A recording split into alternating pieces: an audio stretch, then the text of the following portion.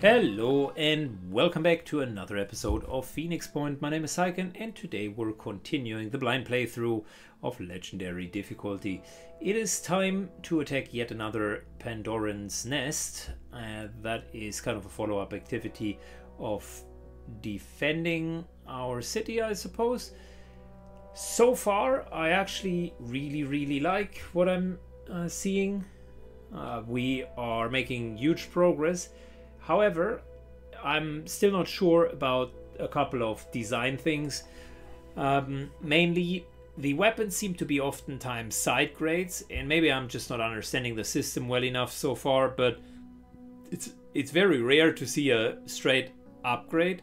The only thing that really uh, struck me as a straight upgrade is kind of the cyber modification of your uh, soldiers. So that in itself seems pretty straightforward. But other than that, the new Jericho weapons are sort of a bit better. But yeah, arguably also sometimes not really. It, it always appears that you need to have two almost two weapons to fight against multiple enemies. So that's a bit... Mm. And the other aspect that I'm seeing so far is this game seems to uh, revolve a, a lot around like just trading. It's not necessarily action economy, uh, as turns sometimes uh, don't matter. There's no timer function. Um, my concern is more there are a couple of really stupid uh, mechanics, such as you go completely out of line of sight, come into sight, shoot, come back, and there's almost no counterplay. So I'm not 100% sure if um, if I'm just seeing things the in a in a in a limelight too much uh, influenced by XCOM 2, but I'm missing a bit the tactical depth of what one can do. Weapons seem to be relatively speaking inaccurate um, on range, but going closer almost always includes you trading off hit points with the enemies, so it's actually just more efficient to uh, sit back use snipers uh, and indirect fire. And whenever someone is stupid enough to come into the open you just uh, kill them. At least that's how it worked so far. I might be wrong uh, but i figured i share my first impressions at the beginning of most of the missions. Good. Destroy all hatchling sentinels which typically means destroy two hatchling sentinels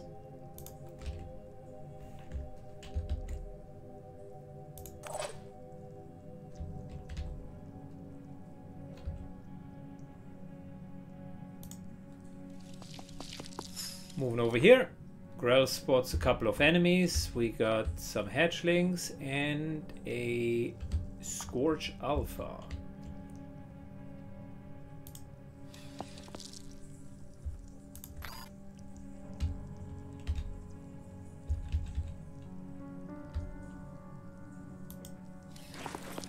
Grell continues to move forward.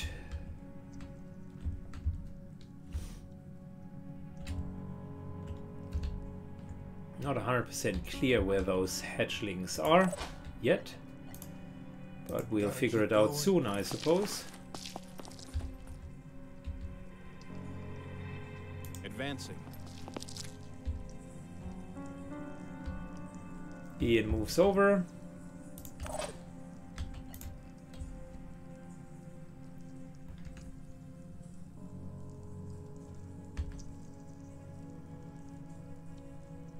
Moving fast. Shattered Realm moves over. Let's get our front line going. Dranks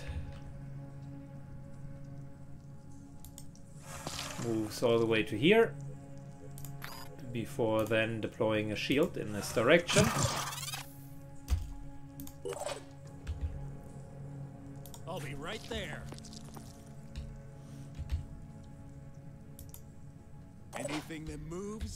Overwatches. Ian overwatches and Let's roll. G gets into a nice position. And guess what? Overwatches. Still have nothing really good to do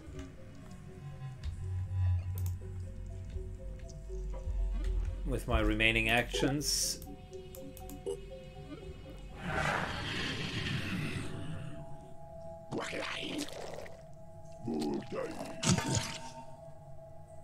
We're being attacked from behind.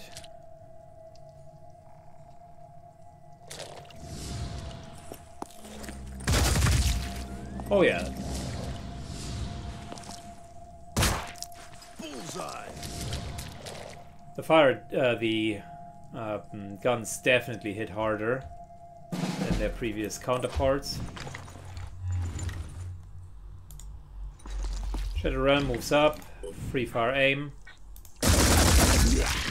Enemy killed.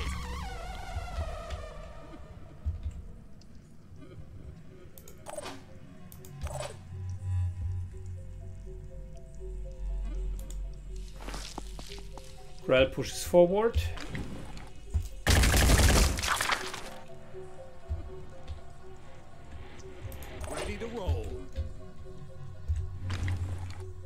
On the other hand, begins to shoot. I like the weapon, but the new weapon is really helpful.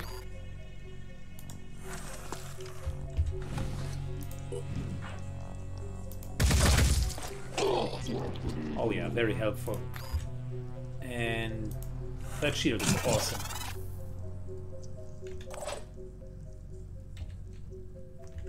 Oh, we have a sniper. I forgot about that.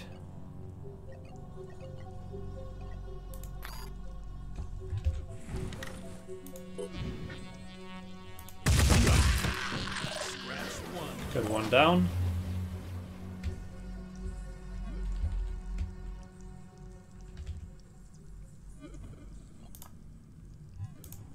Ian moves in.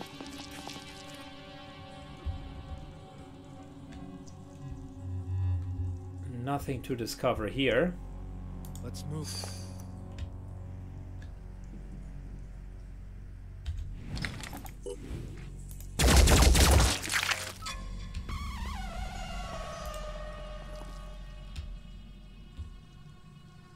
Let's move. But careful. I see them there.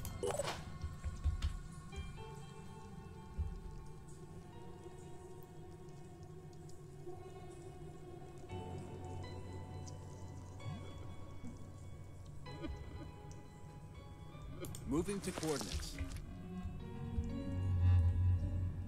On the move. Let's shoot a bit more efficient because I want to get back into cover afterwards.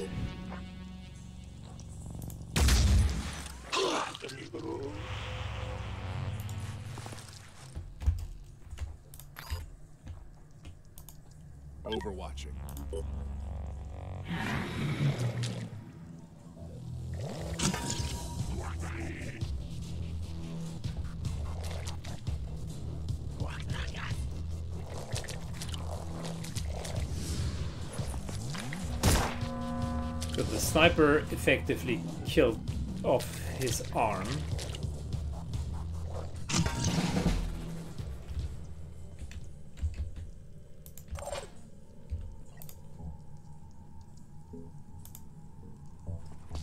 Euler moves up.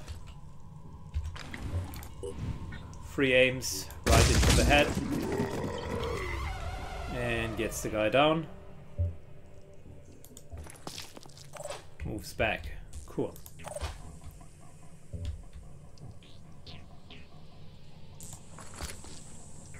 Shattered Rome.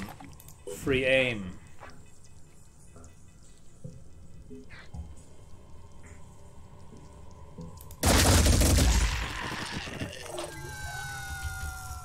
Here. Five by five.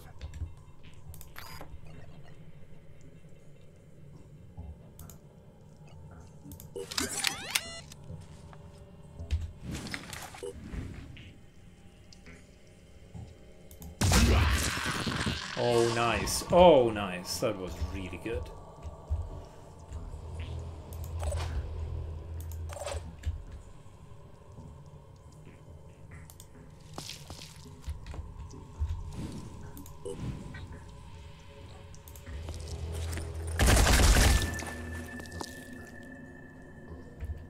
Yeah, I can see that the Gauss uh, weapons Ready. Are just dealing a lot of uh, damage against armor targets. Really appreciate that. Laser weapons equally are good.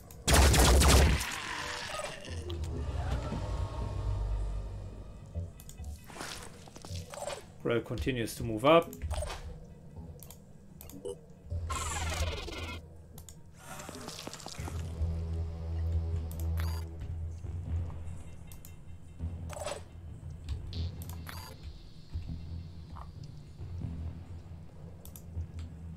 Position. Okay, Advance. cool.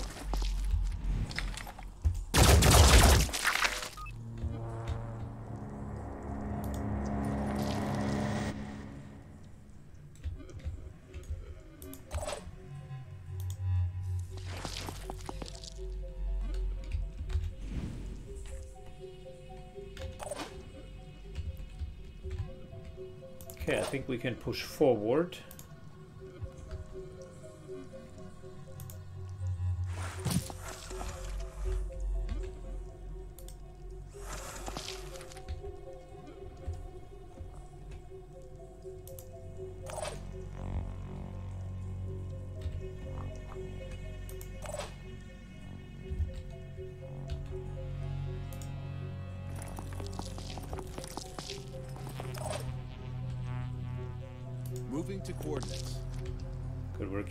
Very carefully moving forward.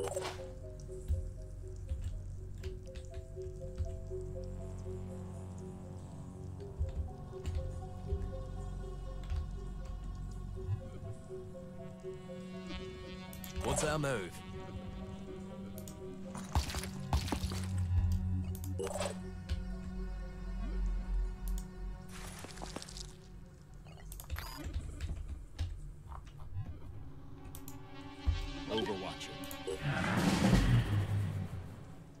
Okay.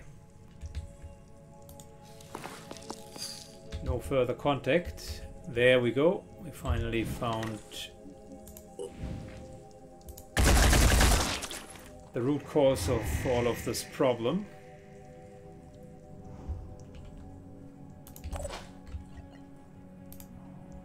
I can do it. Trying to reposition. Ian moves over.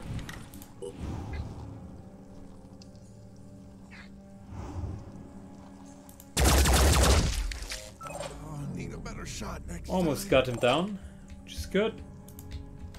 I think there is still a second one.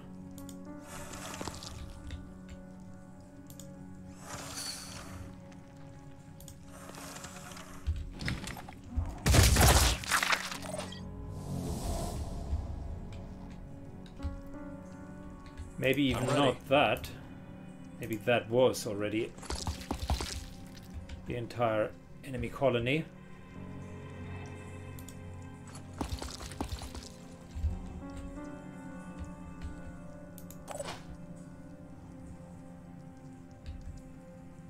Okay, we have more than enough folks uh, there.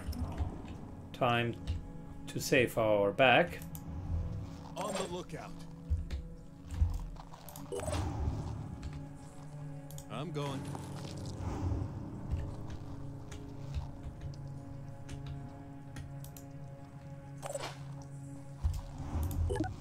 Okay.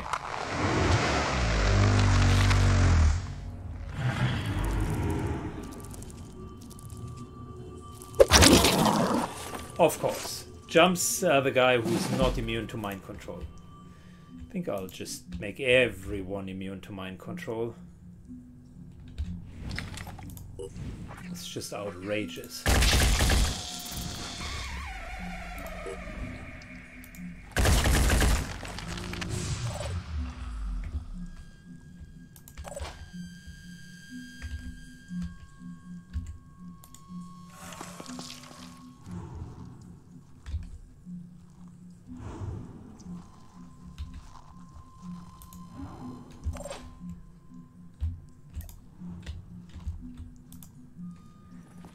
Time to move up.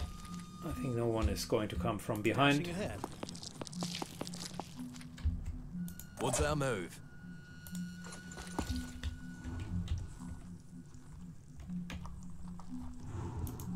I'll keep my eyes open. DDG follows.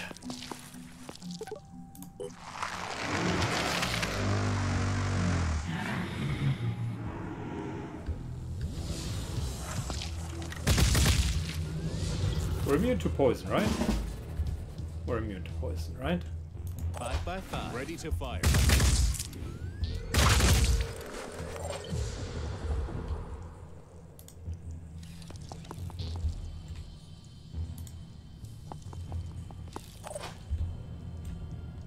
Dashing to the coordinates.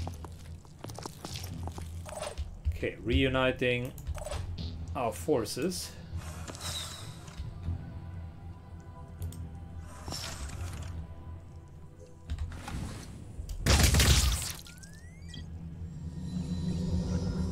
Let's get a shield going, just in case. Dashing ahead. He moves up for next turn.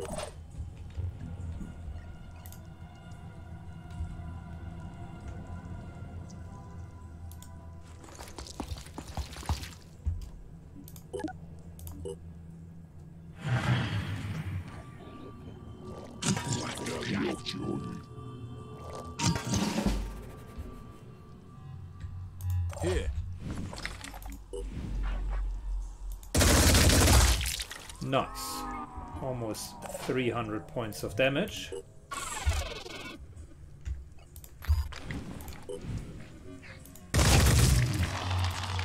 And that should be, I think, the mission.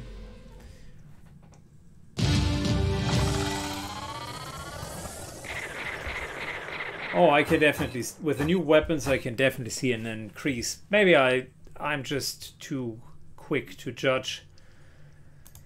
This actually was substantially more damage on the uh, Gauss weapons.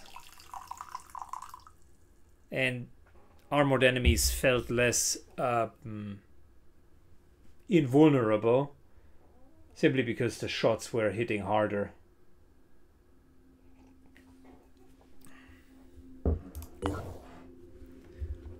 Good. Sentient AIs. Laser weapons. Oh, I want them. They are good. Neurotoxin weapons. I want them as well. And the infiltrator.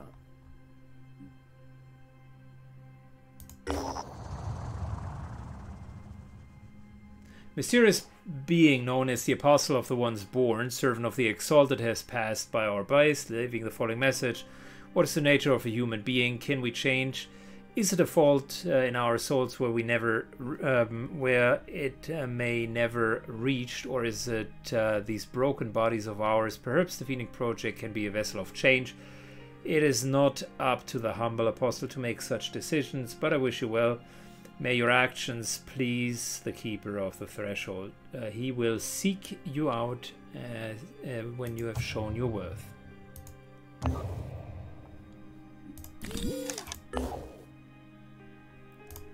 Good. Research. I like grenade launchers. But, wait.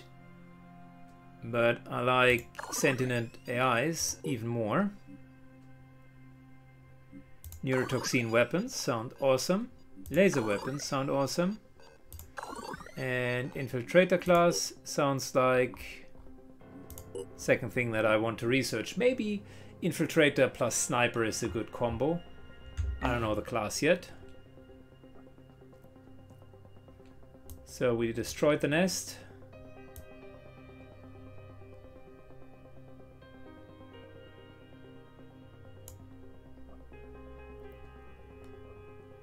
Um, a Synedrion Haven is under attack. okay, so wait, wait, wait. Where? who's under attack and why.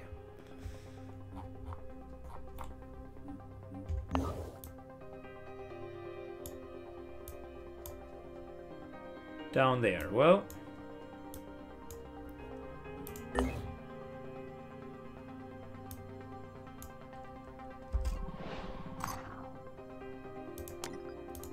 Let's trade. Food for tech.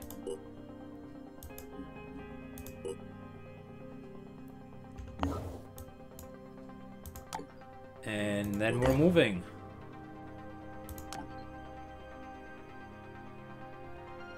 Besides manufacture, uh, that Manticore is still not done because I always find something else to just put in front of it.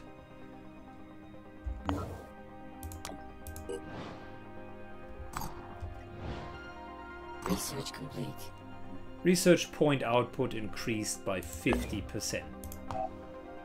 Which means this year is now going to be better and faster.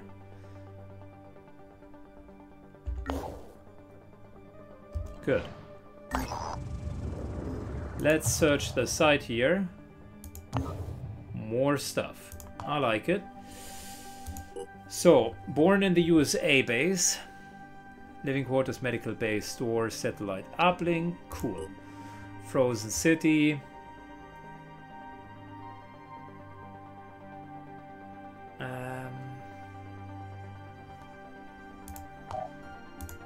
Have recruits? No, not yet.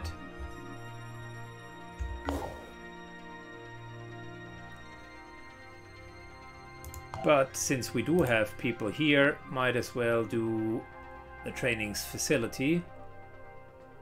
Just for that little bit extra oomph. Born in the USA, facility, uh, satellite uplink, living quarters, another trainings facility. We got the medical bay there, so that's okay. These are the bases where I actually want to keep staff. I'm not sure if you need to keep staff in all of the bases, but those were would be the ones where I think it would make sense. Still double checking what else we can uh, we can do. So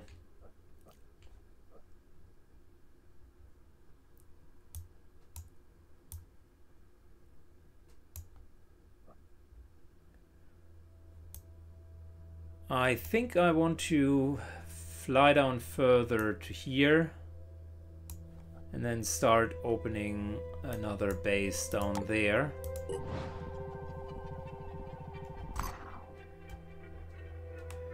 I would like to manufacture faster. See, that's an idea.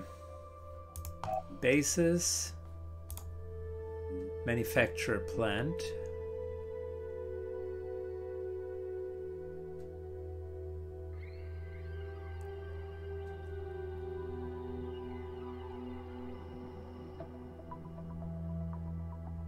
That would fully cost our uh, our last building slot.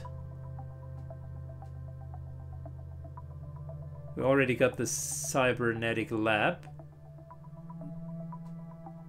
There's still space for more.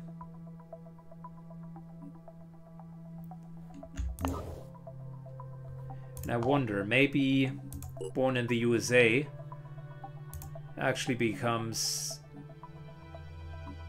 that fabrication plant. A factory facility that produces weapons, armor, and equipment and vehicles. We do have that already, don't we? Fabrication plant. Okay, but yeah, it doesn't.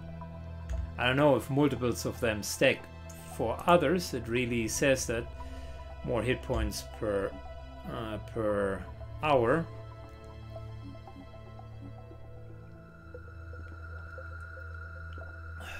Hmm.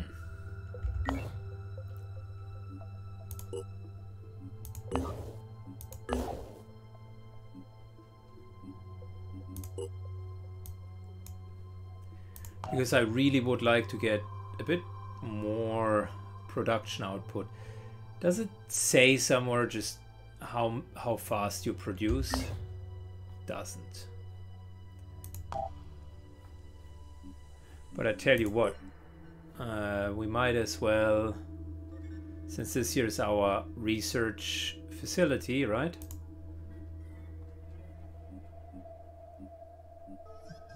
Might as well just test it.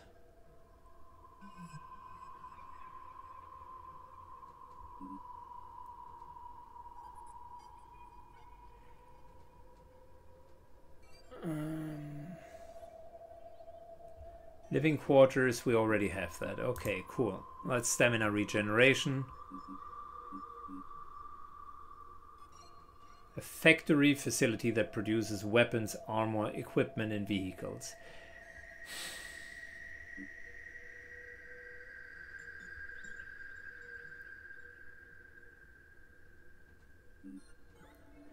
I tell you what, we're just trying it and see if it works.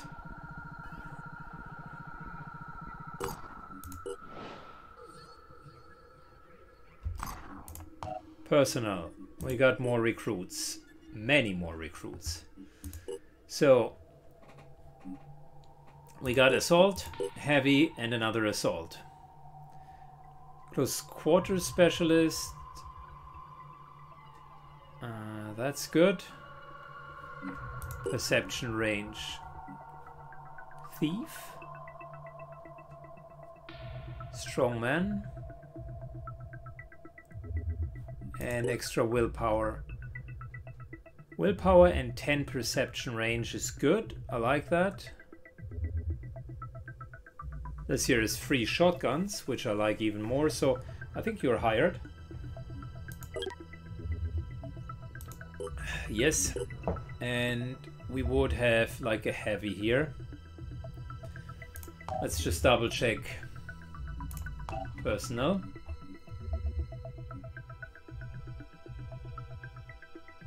So we got a technician, a sniper, and an assault. Might as well take a heavy.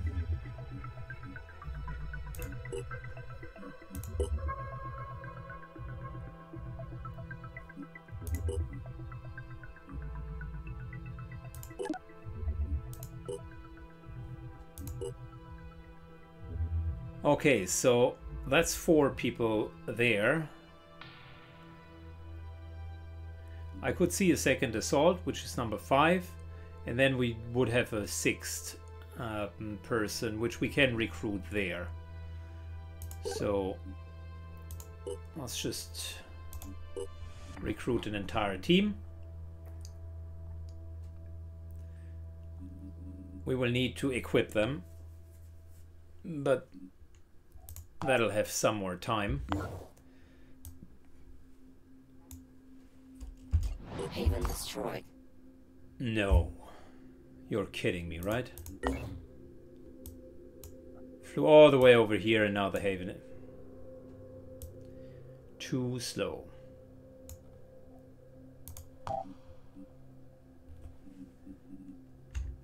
Okay, whilst we're here.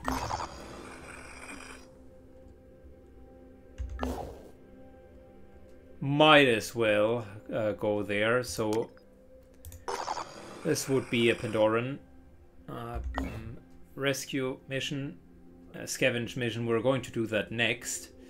Um, how's the manufacturing looking? Almost got all of uh, the armor done.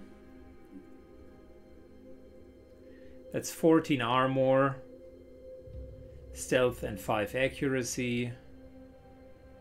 It's just barely a little bit less um, armor, but way more stealth. It's 20%. And so far we have Assault Sniper. Okay, we can't even give him uh, the Infiltrator. I don't think that you can have three classes. But it's okay. No worries stealth still seems to be a good option.